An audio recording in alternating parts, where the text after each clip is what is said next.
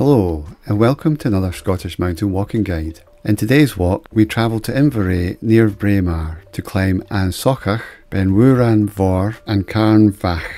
You would typically climb An Socach from Glen Clunie as a solitary walk, including An Socach with Beinn Iutharn Mhor and Carn Bhac adds an additional 2.2 kilometres to the walk, and most of this is across open terrain with no path to follow. It's also an additional 350 metres of ascent. We both agreed it was worth the extra effort.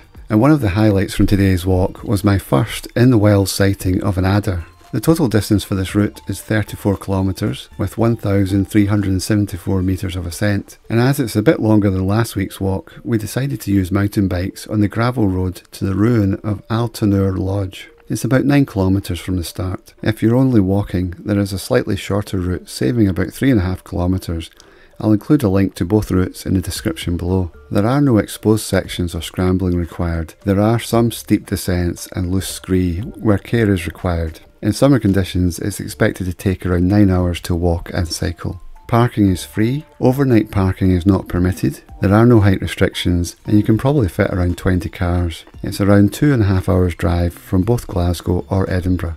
Starting from the Inverey car park, you're going to head southwest along a gravel road. It'll be marked as a private road, and you're going to just go along, entering into the woodland, and then you're going to go by a few buildings here and continue along the gravel road, and it's going to leave the woodland and come out to an open sort of moorland area.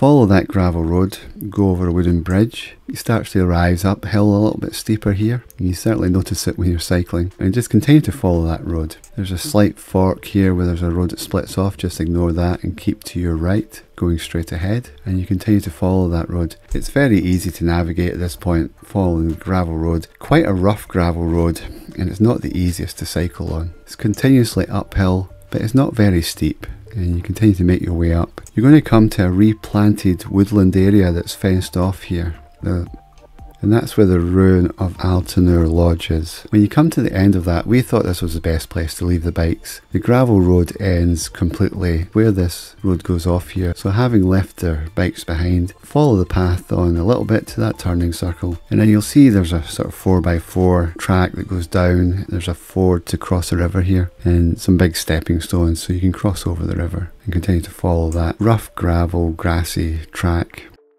there is a path here on the hillside further up, and I'm not sure if there is some sort of path that goes down across here somewhere. We couldn't spot it. Having looked at the maps and seen the trails that are on the maps, this looked like the easiest way to get onto the bottom of this little path here. There is a bit of a drop down here down to where the stream is and a sort of steep incline at the other side, but once you're up on that, a little bit of a boggy section around here, so that's why we went further south to go around and above that and then crossed over. This path is clearly visible from over here when you're not in cloud. And once you're on that path, you can follow that up. It's a very narrow, not well used path, but it is clear most of the way. There are some sections where it fades away to, to nothing very much. But as you come out, it gets a bit rockier the higher up you get, and then it starts to flatten off. There's no path to follow once you get higher up. You just keep walking up towards the highest point ahead. A couple of little cairns and there's one cairn quite close to the summit, which is not the summit. Further south, there's a, a large cairn from that summit, we're going to return back down, descend very close to the route that we took on the ascent. And when you get a bit further down, then you're going to head directly west off the top. This is very steep, there is no path to follow, so you just got to take care. A little bit of zigging and zagging just to make it a little bit easier to descend. Heading down, we crossed over at this point because it looked very boggy down here.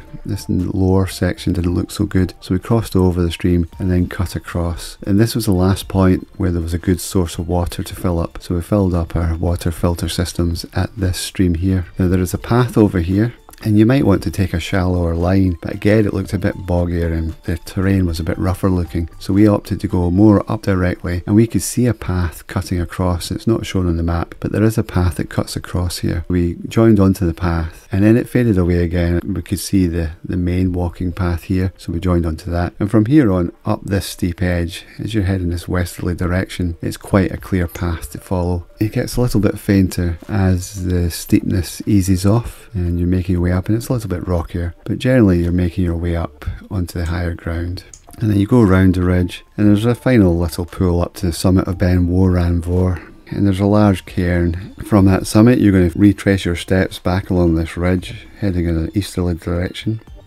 When you come to this point here, there is a large cairn over here, which is what we kind of headed for, and we cut down and then joined up a path here, but I'm pretty sure there's another path around about here, more to the west side of this ridge, and it takes you directly down to this path. But there was a path here as well, so there's a couple of different routes that take you down the sort of northwest side of this ridge. It's very steep, lots of scree, just need to take care. It doesn't feel exposed. It's not like a cliff edge you're going down. You can see it's a fairly even descent. You make your way down. Once you're down off the steepest part, all the way along here is very peaty, long grass, no distinct path to follow. There are sections where you can clearly see the path and then it just fades away to nothing. It is quite difficult to navigate even on a clear day. Very boggy, peaty section here. Some sections of it were quite firm and then other sections were very soft. So you just need to take care as you're crossing over here. This is a large flat area. It looks like it's slightly higher but it's not noticeable when you're walking across it. What you're aiming for is this sort of very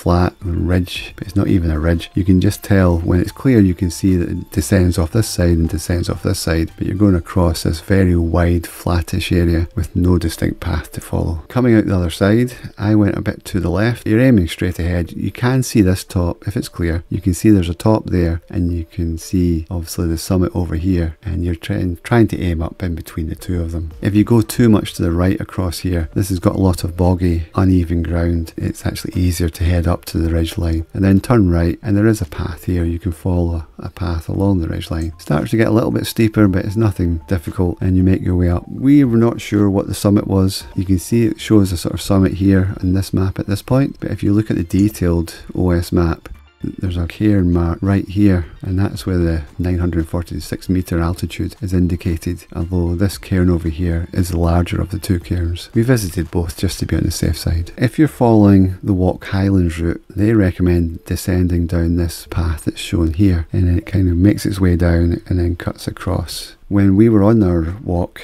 we spotted a large path going across the countryside, and there were two or three diggers, large JCB diggers, on the mountainside, and so they'd made their own path across the hillside here, and it pretty much took you down to that turning circle. It looked quite good from a distance, so we thought we'd give it a try. It looked like a more direct route back to where the bikes were, and so we came down. There is a path that comes down here to this point, it takes you all the way down to the Bealach, and from there we cut straight down because we could see the path right about here. And we joined that path. It was easy enough to follow. It was a bit squidgy, a bit soft. I mean, it wasn't terrible. And we made our way back down the path, back to where the bikes were. If you're walking, then you can follow this down to the Bealach and curve round. And don't go all the way up to the summit here, but you can curve round and join this track here and it doesn't show it in that version of the map but if you go to the full map you can see there's a gravel road that starts or ends at this point and that road takes you all the way back down to the, the road you started in the morning.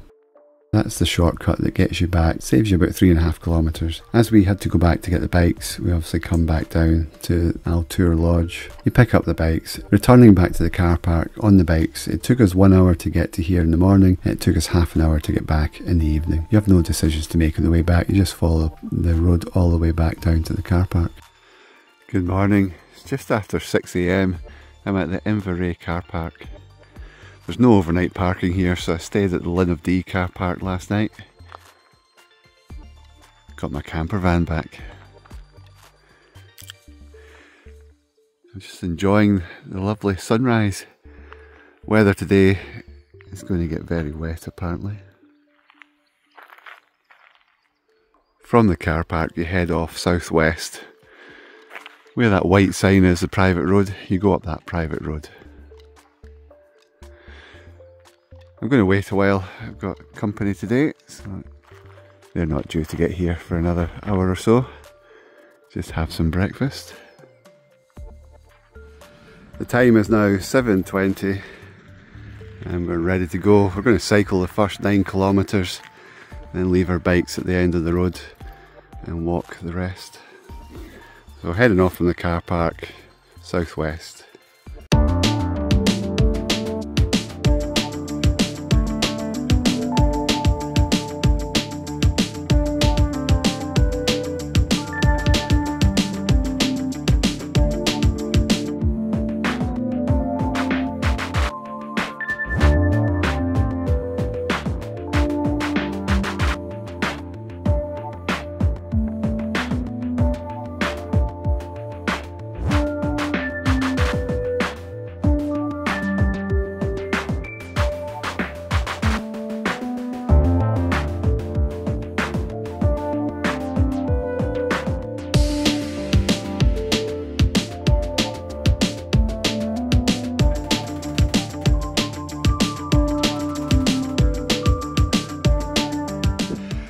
Come to this fork in the road, we just stay on the right hand side, going straight ahead, the main road.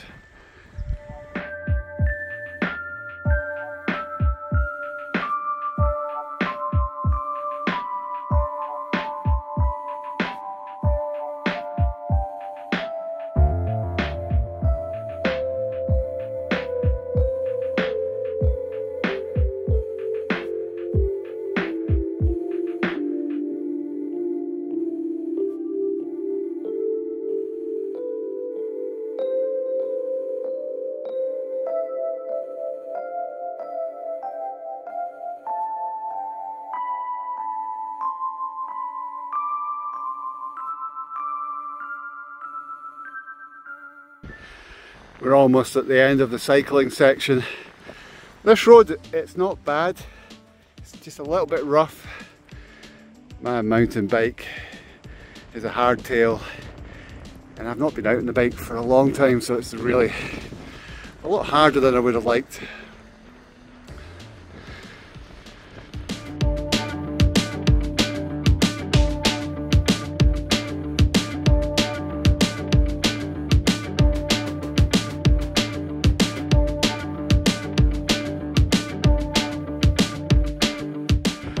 You come to this big turning circle, we're going to head down here and go over the ford and the trail is on the other side for a little bit. Takes us up the side of An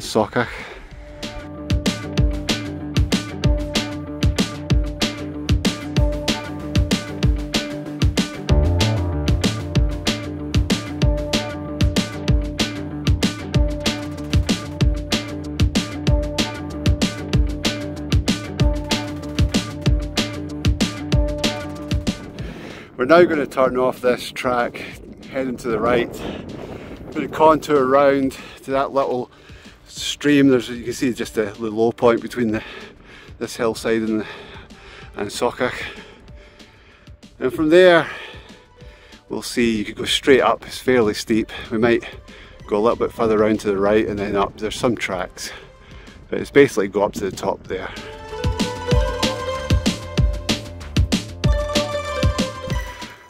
We've come across a bit, we're just going to go down and over the stream here and straight up the other side.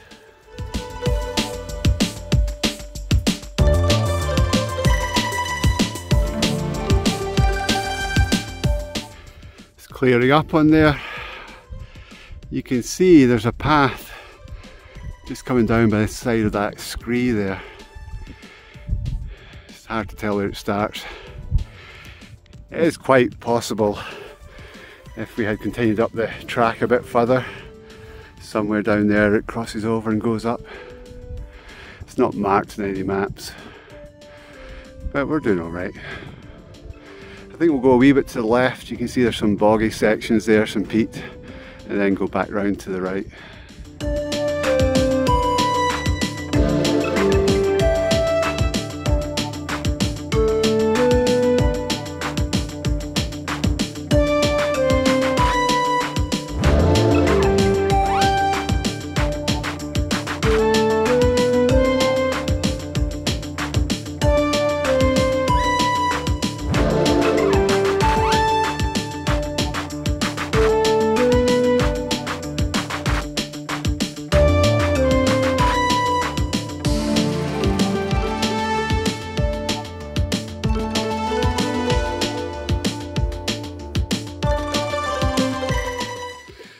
due to be misty until about 11 o'clock.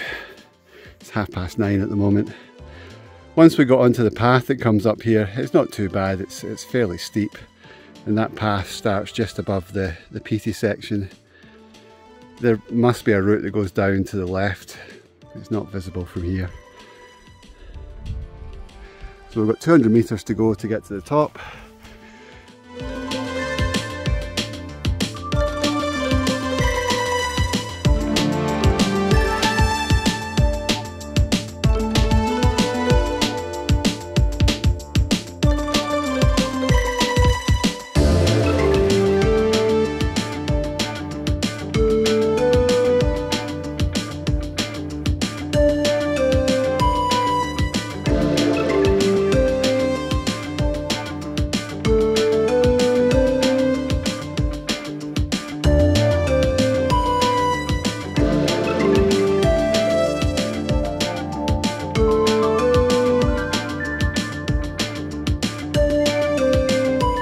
Come to this little cairn, the actual summit's about 50 or 60 metres southeast of here, just over there, a bit bigger. Might have a trig point, looks like it's got a windbreak. That's us at the summit of An Socach. It's got very windy.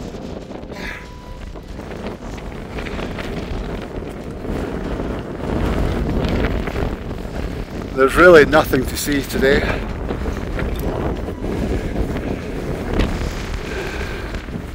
It's taken us two and a half hours to get to the top, one hour of cycling and an hour and a half up that steep slope. And we'll descend down about 280 metres and then go back up the other side. So from the summit we're going to head a little bit left of that other cairn there, basically back the way we came to start with. Yeah, you can see there's a bit of a gravel trail here just to start you off in the right direction. And once we get a bit further over, we'll just have to double check our position on the map. There's no features really to help navigate towards, so we'll need to use the GPS. Once we get underneath the cloud, it'll be easy to spot where we're going.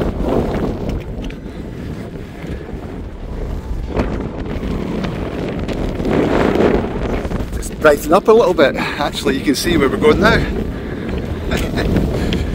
Look at that.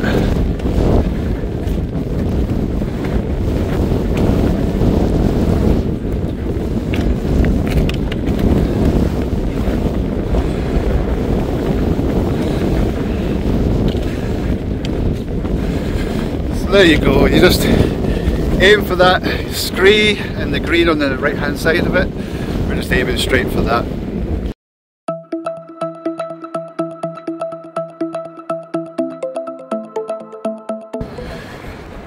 There is no path down here. We're heading down to where the, the river, you can see the sandy banks, we're heading down to there, go back up the other side. There is a path on the other side, you can see a bit of the zigzag higher up, so we'll have to cross over the heather to join that path. You just take your time going down here, I've done this before. It's steep, but it's not too bad. It's clearing up nicely, still quite windy.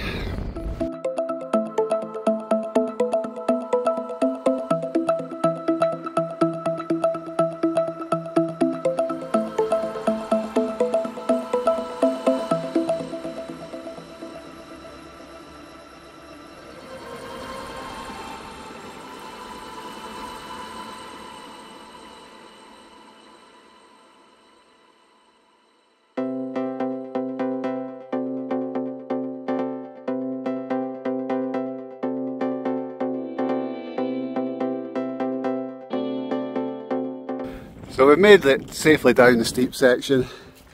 It's not really difficult, it's just you've got to be careful. There's no path. I'm going to go straight across here and up, maybe sort of up the centre of the frame there. You can see there's a path that cuts across the mountain. We're aiming for that path and then go round to the right and it will join the main walker's path up onto this Munro.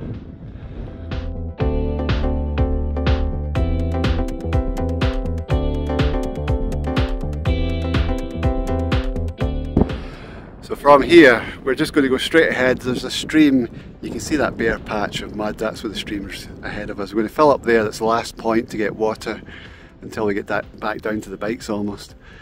There's some boggy sections where you might be able to fill up, but it's not as nice as here. And we're going to go straight up and join the path. The path cuts right across and then go round to the right and then join the main path.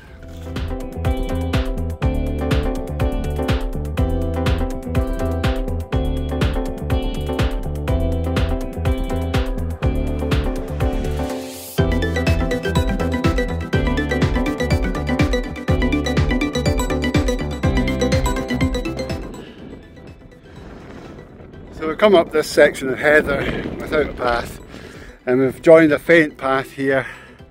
So now we're going to go round to join the main walking path.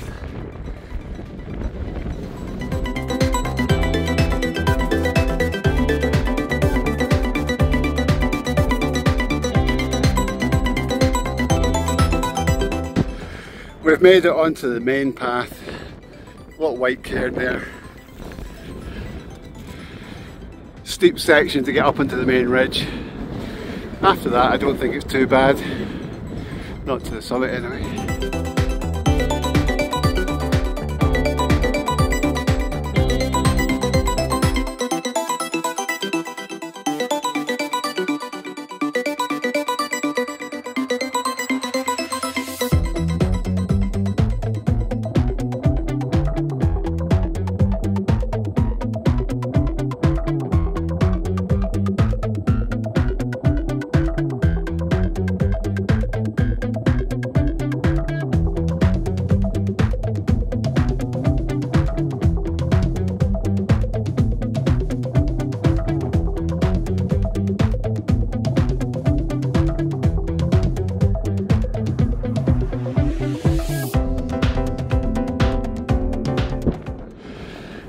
And is clear at the moment. It's 11.40. Weather forecast has been pretty accurate. Carn Bhac is clear as well. You can easily see the path going up to it from here. At least the last section of it. We're at around about 940 metres, about the same height as Socach. Uh, this summit's at 1040 metres. So we've got 100 metres to go, not too much. The start of this was very steep, just as bad as An Socach. But once you're over the top there, it flattens off and it's quite a nice walk. But it was very windy down there, so I really couldn't record any video.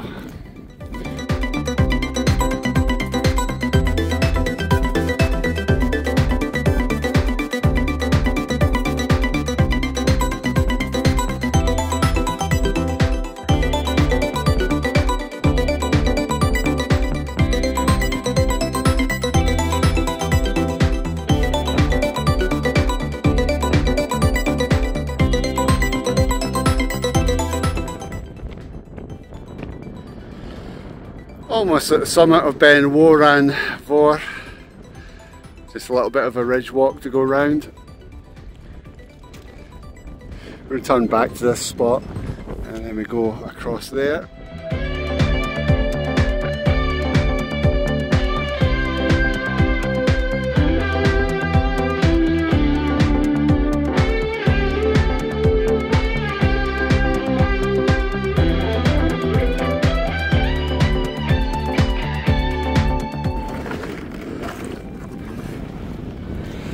The summit of Beinn Iutharn Mhor.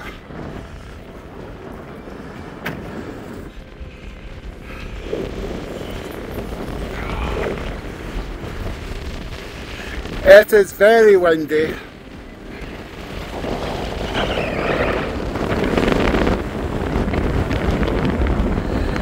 But it's cleared up nicely.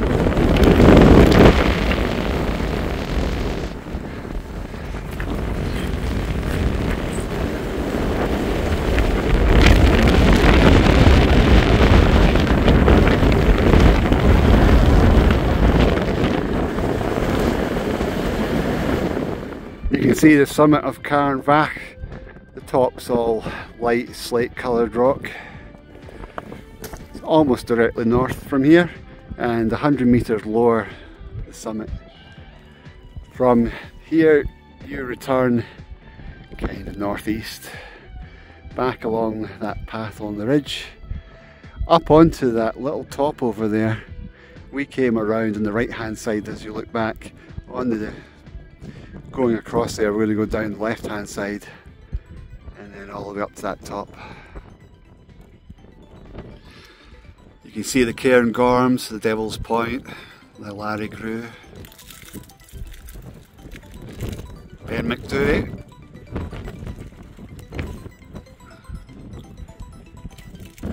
So from the summit we're going to head back the way we came, it's just, it's almost east, just slightly north of east, um, around the ridge over there down. Still windy.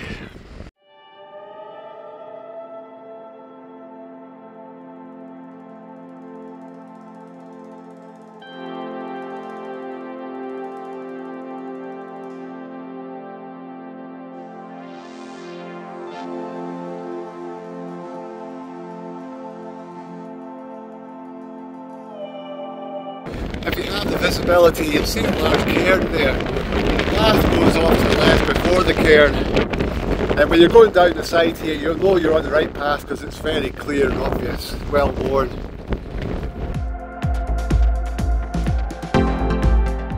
We can see a well-worn path here, goes off to the right. I'm expecting it to zigzag back down again. We're now on to the top of the scree section where it zigzags down. I will say that the path was a little bit faint back there before it joined up to this. So, just head down here.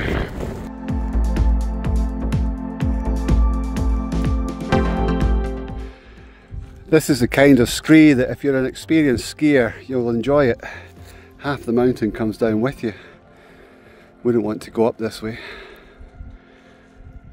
And we're out of the wind mostly, so it's a bit nicer.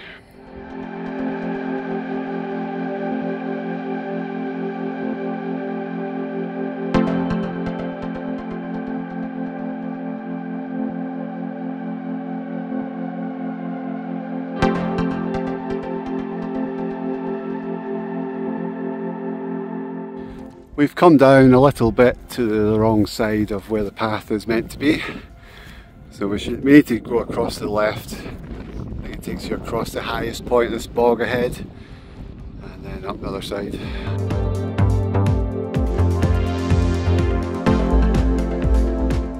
So I guess we weren't really paying attention, we missed the path. There are multiple paths, I can see a path that those people are going up.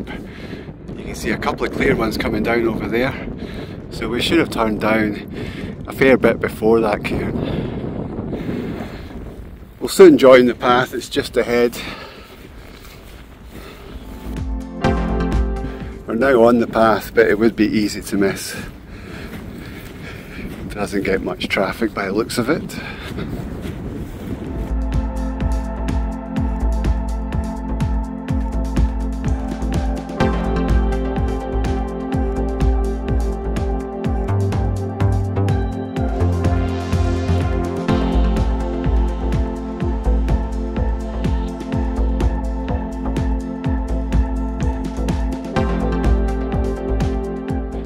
Path here is not very clear. We saw people had been going straight for the summit, which isn't the proper route. You can make it a faint trail here.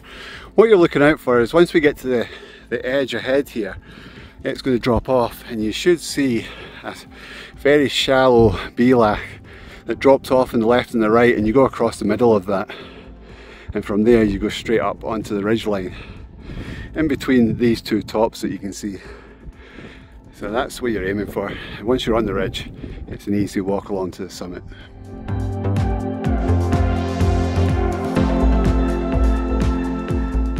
You can see ahead there's a broad flat area that drops off on the left and the right although finding the path through the middle of it is not going to be that obvious. We're on a faint path just now. You can see past at the other side of it where the grass is a bit greener past the bog. That's what we're aiming for.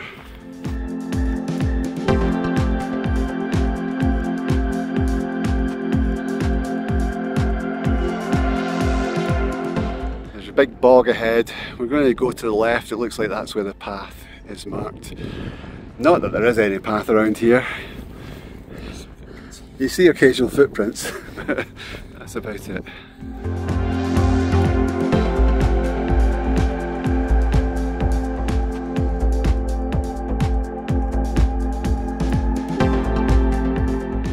When you get to this big boggy section, it does look like you do go through the middle of it on the map maybe go up the right hand side and then across.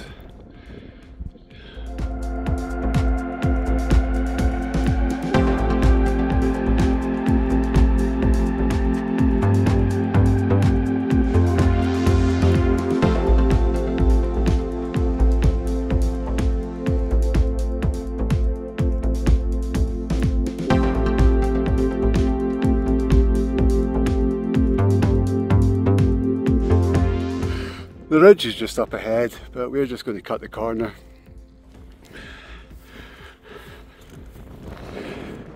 That section is tricky. Very difficult to navigate if you're in cloud. Just need to keep an eye on your map, your compass, your GPS if you've got coverage. I've not seen problems with GPS coverage in a long time.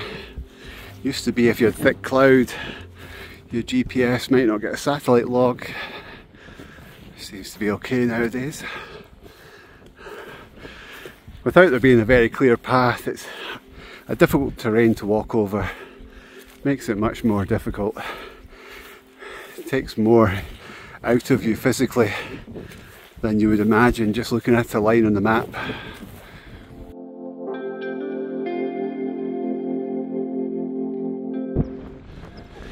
I've made it up onto the ridge track. Looks like a four-wheel drive type track. So you turn to your right.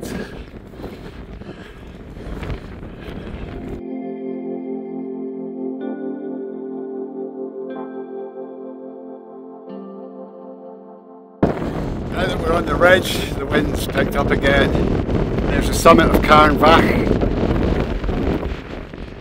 can even see the you can see the Cairngorms quite clearly. That Munro, it's spelled like Avon but it's not how you pronounce it. You can see the Tor and the summit.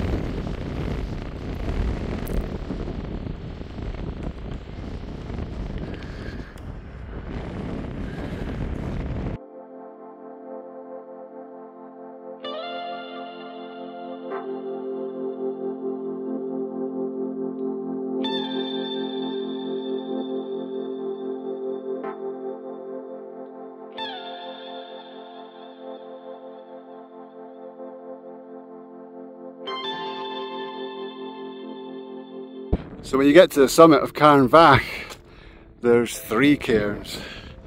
Looking at the map, we think the smaller one here on the right is the summit cairn. The bigger cairn over there is also shown. It's, on the map it's not next to the 946 metre altitude, but we'll go to both. So we're at one of the summits of Carn Bhac Yeah, we think this is the summit. the, the altimeter says we're at 947 and it was one metre higher than the other summits as well so it's a pretty good bet that this is the summit.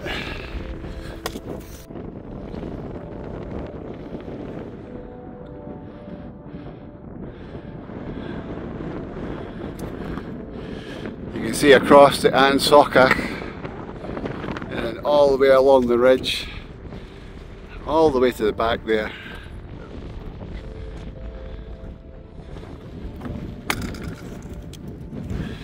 It's 2.30 in the afternoon. Forecast is to rain at 3pm. We estimate it'll take another hour to get back down to the bikes and then maybe half an hour to 40 minutes to cycle back out. So we're now at the second top of Carn Bhac and the altimeter is reading between 947 and the 948 so slightly higher than the other one. Not too certain which one's the top.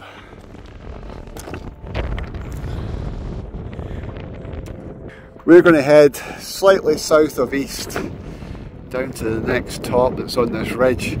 If you're following the Walk Highlands route they'd take you back more towards the first top then curve back down.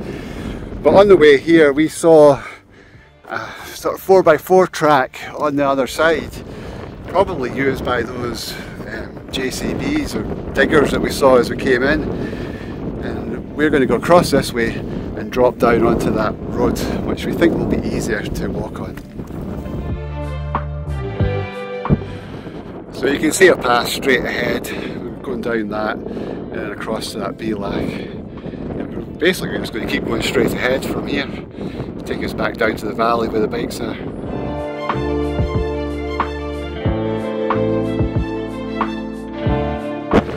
So we can see the road we're aiming for, it's a sandy coloured bit. I'll try and zoom in on it.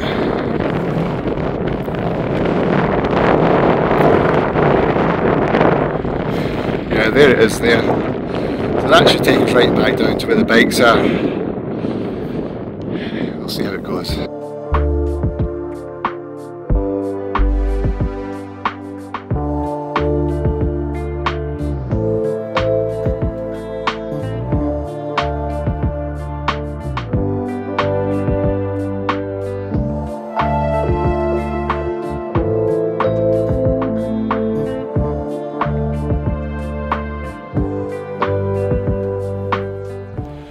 We've made it onto this track, trail, whatever you want to call it.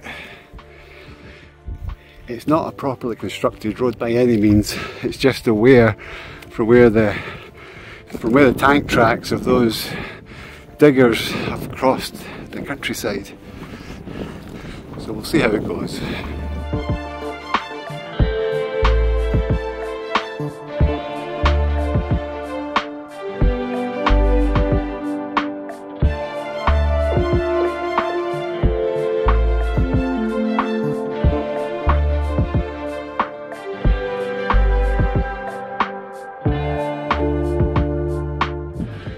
This track is rough.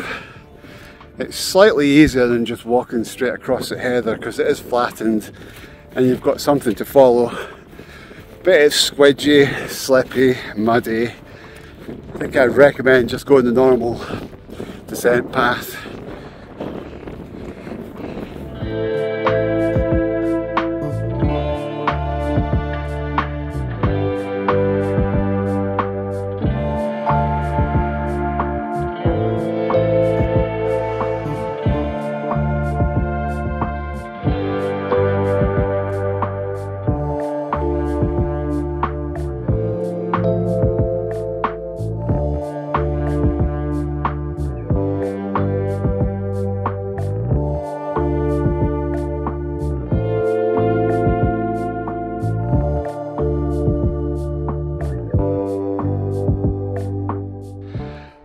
Taken us about 7 hours and 15 minutes to do the walking part of this walk. We're back at the bikes.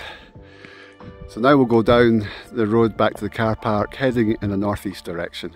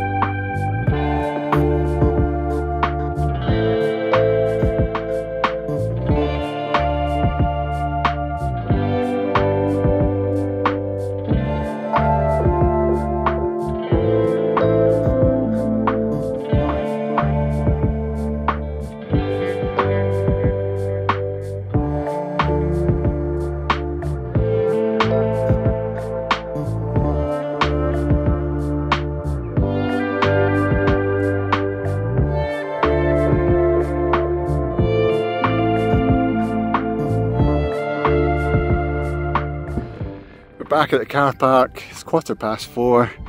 It's about nine hours in total since we left the car park. About half an hour cycle back, an hour to cycle up. Definitely a lot more uphill on the way out and much more downhill on the way back. Didn't even seem that much. It's fairly level but just slightly uphill for the most part. Hope you enjoyed the video. Thanks for watching and I look forward to showing you more in the next one. Bye for now.